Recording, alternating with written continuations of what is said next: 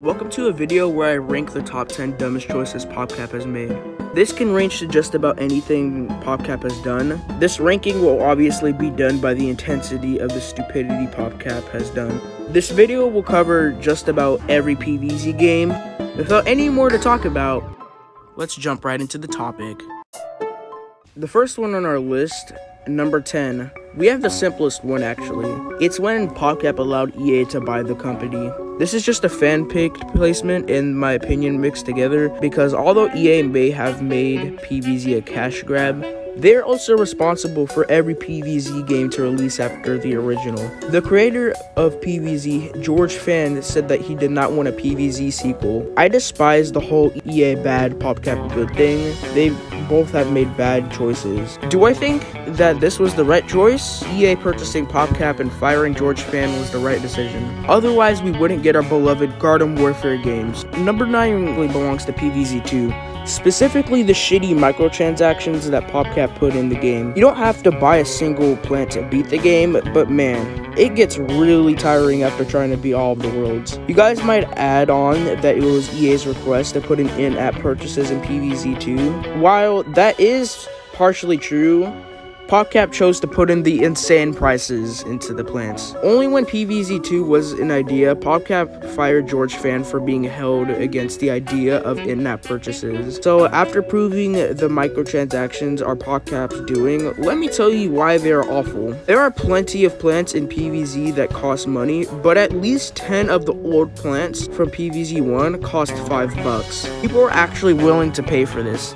It's already stupid enough to think someone is going to pay 5 bucks for the chomper, but when it actually works, it gets even more insane. Only idiots that have white parents are willing to pay the price. Number 8 is the Shady Garden Warfare 1 leveling up system, where you have to complete a specific thing to get close to leveling up. After reaching level 10, the stuff they make you do is so specific that you have to go out of your way to do it instead of playing it for fun. It's pretty simple sometimes, like eject 3 beam bombs or swallowing 5 zombies. However, you'll get shit like vanquish 3 sunflowers without being KO'd.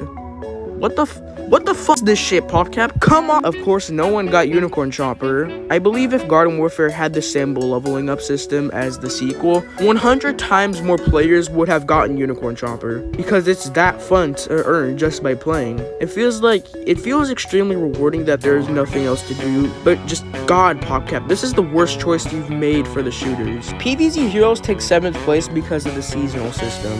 They don't even progress anymore, they completely removed them. PopCap as a company does not understand their games aren't dead. They still have an active fan base. So when you add a cap to a seasonal update, you just seem like a really awful person. Fix your game, PopCap. You are driving your fans away for seemingly no reason. PVZ Heroes is your only game where there's actual online play, at least on mobile. This actually does not solve any problems. You just drive your fans away from your game if you can't actually progress in it anymore.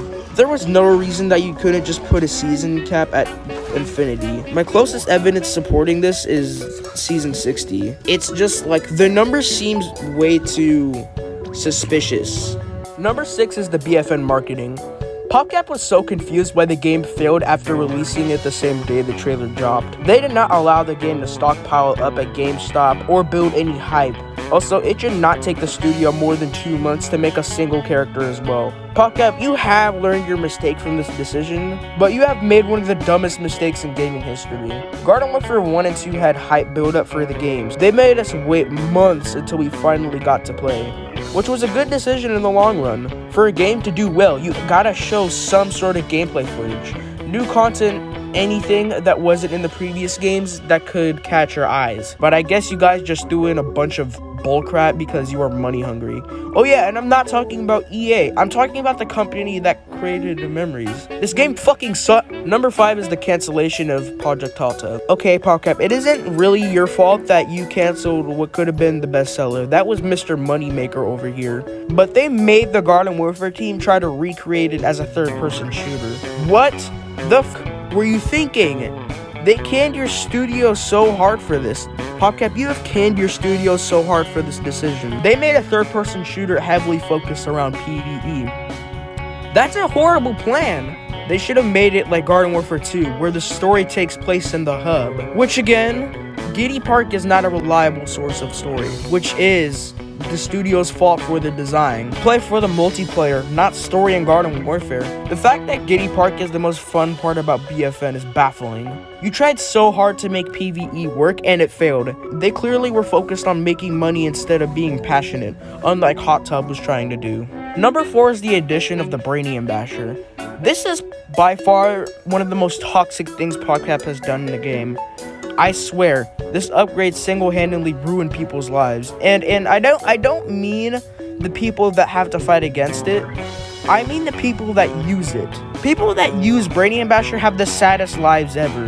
But you can't really feel bad for them because of how terrible they are. People that main Brainium Basher, I, I pray for you very dearly. Your life is filled with void and there is no substance. PopCap, Brainium Basher is the worst thing you've done to a playable game. Also, I think more people would enjoy if you would put iceberg lettuce instead of brainium in the game. But that's just a theory. A game theory. Number three. PopCap has ignored the community, and that is why your studio sucks today. Here, I will just play you a GIF of what people think of the studio today. What is strange about this is that you played the community in the teaser trailer for PVZ2. Francis is my favorite entry in there, don't tell anyone that. But now you completely ignore us. Listen, PopCap, your ego is not that big. PopCap also never nerfed Brainium Basher, which was requested very frequently. PVZ3 is the best possible example for this situation. It's pretty self-explanatory. Also, PopCap has been making EA do the hard work to fix their games.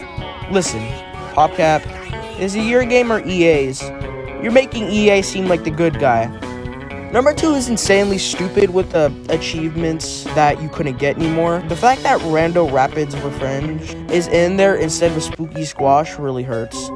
Also, we need community challenges, boss hunts, and cats vs dinos back. These game modes hold seven locked achievements. I kid you not, seven.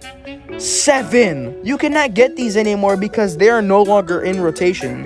And I only think to myself, why?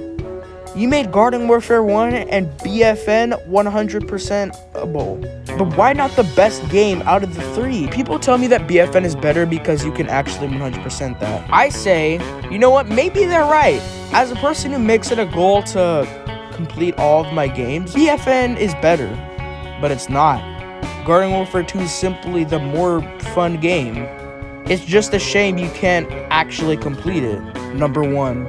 PopCap, this is possibly the dumbest thing you have ever done. This plan is so outright horrible because you simply can't fit in. PVZ3 is a horrible idea. The game itself is very bad. Its art style is sickeningly similar to Garden State, which is a game you guys know I'm not too happy with. Let's see here. You made a third installment to a 14 year old game, a tutorial. It feels like the game makes it way too easy for you throughout the whole game. What happened in PVZ 2? I thought that game was insanely difficult. PopCap, you can make PVZ look better without making it too out of place. Keep using your own art style, please. If you release PVZ 3 in the state that it's in, your franchise will die. You have tried this with BFN and it didn't work out. You have tried this with old PVZ3 and it didn't work out. We, the fans, have suffered for years knowing how much you've fallen. Cycle them out. I don't actually care if your new games suck. I only play your shooters, and knowing you won't fix them doesn't change anything. You're a dumb company with a dumb father that makes dumb decisions. And that would be the end of this top 10 video. If you'd like the part where I mourn Brainium Basher mains or anything else, you should like, comment, and consider subscribing. Don't miss out on any videos I upload every 48 hours. Goodbye, viewers.